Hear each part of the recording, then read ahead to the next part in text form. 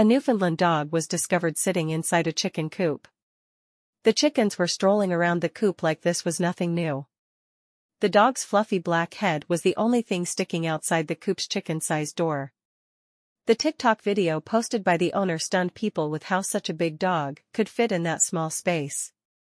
Newfoundland is ranked as the fourth largest dog breed in the world, weighing between 130 to 150 pounds for males and 100 to 120 pounds for females.